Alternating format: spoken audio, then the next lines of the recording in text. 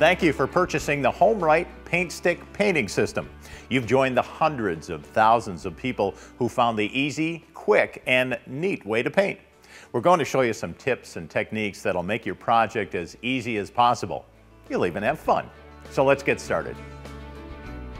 Before you begin painting, you're going to want to prepare your walls so the paint will adhere properly. Proper preparation is the key to a great, long-lasting paint job. Now all you need to do is take a bucket of water and TSP or phosphate-free alternative product to wash the walls. Starting from the bottom up is the easiest.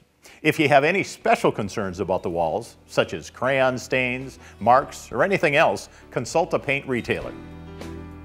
Once the walls are completely dry, you can putty any holes. All you have to do is take our handy painter's tool or putty knife and some putty and put it right in the hole just like that.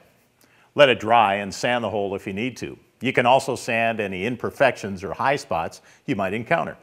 Also, remember that if you're going to paint your walls and ceilings the same color, the ceiling's going to look darker, so take that into account.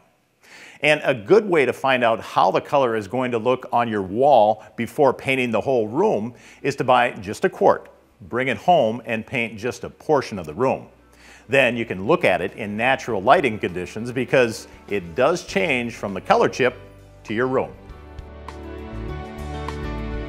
Here are a few more tips before we get started. If you're painting the trim in addition to the walls, it's recommended to paint the darker color first, as it's easier to clean a lighter paint off a darker one in the event of a splatter or spill. If you're using an oil-based paint or stain on the trim, paint that first, as it's easier to get a latex paint splatter off oil-based paint or stain than vice versa. Mix gallons together to get the same color.